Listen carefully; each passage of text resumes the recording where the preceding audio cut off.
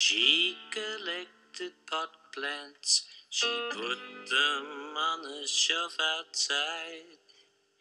She never ever watered them, she wondered why they died.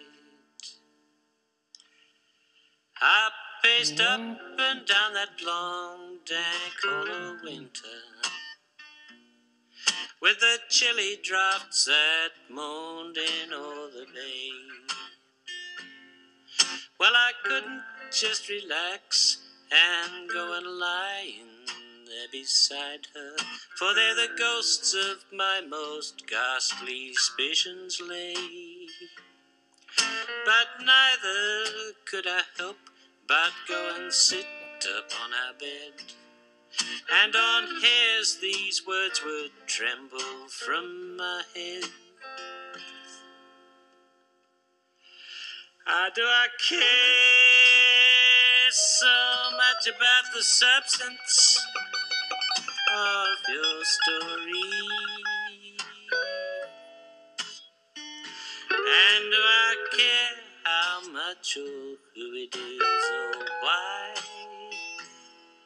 Yes, I wanna know the truth in all its gory glory. And if you leave me in the cold, I'll surely die. But Port Phillip Fickle Bay could breathe all soft and balmy as she strolled Port Melbourne Beach with her arm in Johnny's arm. He would lie back in his sob and soak up all the kisses which I was dying for just meters down the way. And she'd give me granny kisses as I dropped her where they worked which maddened me and made me think of the proper ones she shirked. And it's Friday night again, a night for drinking with her friends. I didn't know that Friday night was what she hoped would never end. Until I found that note she'd written a different type of Dear John. How she knew I'd soon and this sickened her with dread.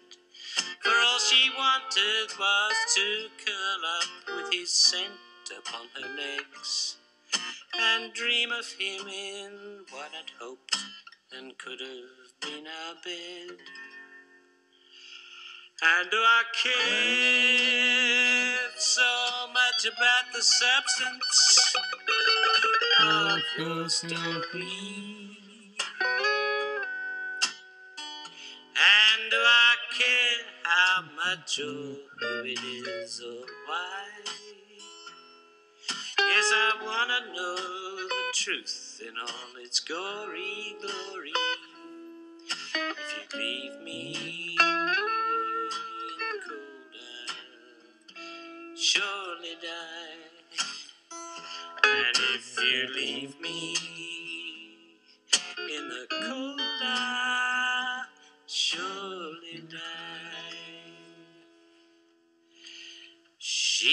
collected pot plants, she put them on the shelf outside.